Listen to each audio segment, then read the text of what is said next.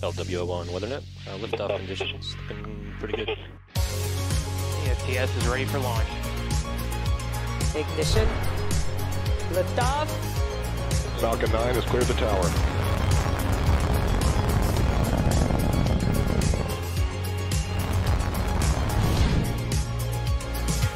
Ten, nine, eight, Side booster ignition. six, five, four, three, two, one.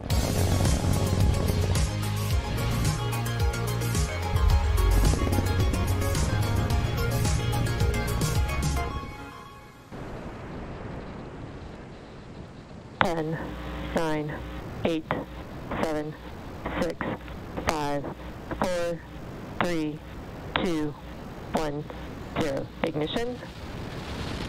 And liftoff. Stage one chamber pressures are nominal.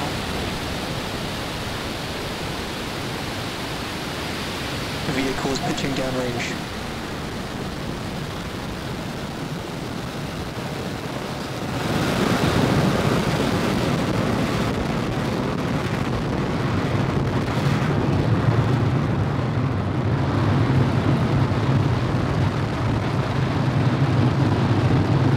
And here we go. We're now 30 seconds into flight on the Falcon 9. All engines are running at full power.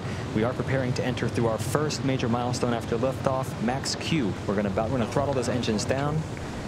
We've confirmed nominal status from the avionics team. Next, max Q. That's when the vehicle experiences the greatest amount of dynamic pressure. We throttle those engines down, and afterwards we throttle them back up to keep dynamic pressures below a certain Falcon level. is supersonic. Max Q. We've successfully crossed the max Q threshold. Those nine Merlin 1D engines are going to cut off. That's known as MECO or main engine cutoff. Right after that, the first and second stage will separate, and then Main the engine Mer- cutoff. second stage will turn on. That's known as SES 1.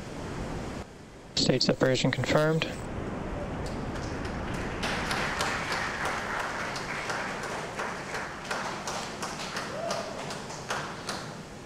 All right, all good news here. We had successful main engine cutoff, stage separation, and second engine start one. Our next milestone is fairing deployment. Those two fairing halves on the top of the second stage are no longer needed, and we'll jettison them. Fairing separation confirmed.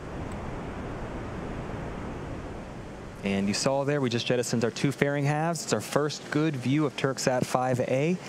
It's now exposed to space, and those two fairing halves are heading back down to sea level.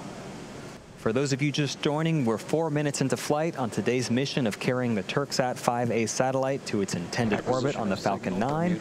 We're currently in the first of two planned MVAC burns. That's what you see on your screen currently.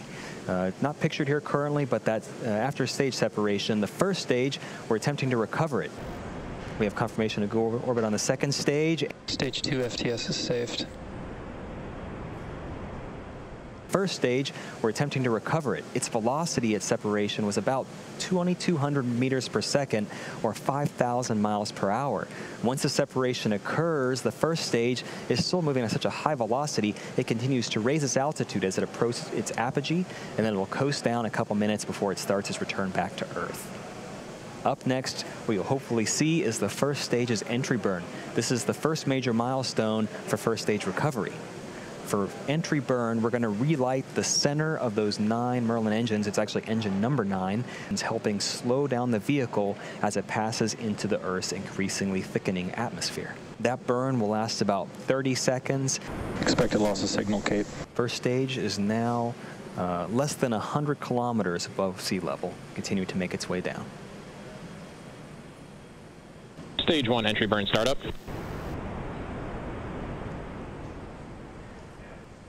Entry burn has begun. All three engines are running currently.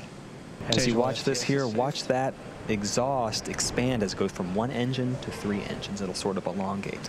And right after that milestone, we're going to start our final first stage burn, the landing burn, hopefully culminating with a fourth landing of this particular first stage.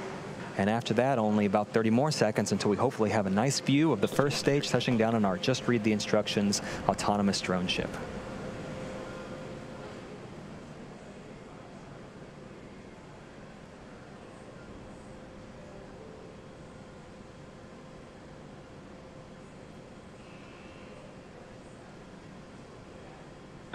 Stage one landing burn, sorry. Our landing burn has started. Our second engine has also cut off, as you can see. We're just awaiting confirmation of good orbital insertion.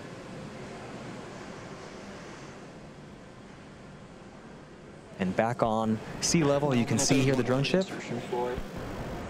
We have confirmation of good orbit. We actually allow the second stage to coast. This event preserves the fuel until we need it for that final burn, uh, second engine start number two, and it takes us to our targeted orbit for today's satellite deploy.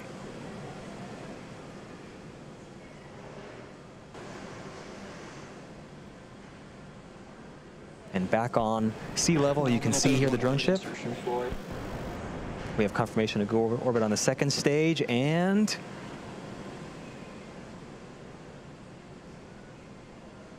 looks like we have a good landing on on the drone ship as well. This is SpaceX's 71st successful first stage recovery.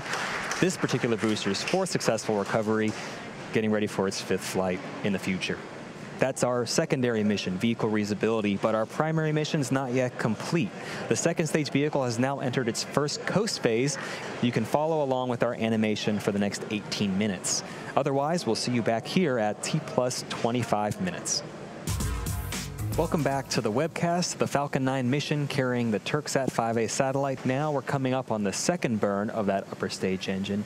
And currently we do expect for that second engine start, SES-2 to occur. Uh, at this point, the nominal burn duration is 70 seconds. Currently that second stage is traveling almost 8,000 meters per second.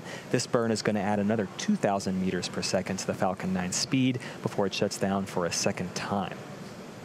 This shutdown event, called SECO 2, that stands for second engine cutoff number two. This burn places the Turksat 5A satellite into the required orbit prior to separating it from Falcon 9. That's now, while we wait for the satellite to get closer to its final destination, we'll pause commentary during this coasting phase, but we'll come back just before stage two separation takes place at T plus 32 minutes. Welcome back again to our launch coverage of the Turksat 5A mission. Milestone coming up in about 10 seconds. That's deployment of the Turksat 5A satellite. One quick note, we're actually not spinning the second stage of this mission. Payload deploy confirms. And you can see it, we have confirmation of successful payload separation of the Turksat 5A satellite, and that will now bring today's webcast coverage to a close. Before we go, we really want to thank Airbus, our customer, for entrusting us with the Turksat 5A satellite. It was also SpaceX's 71st successful booster landing, as well as SpaceX's 50th time for flying a reflown booster.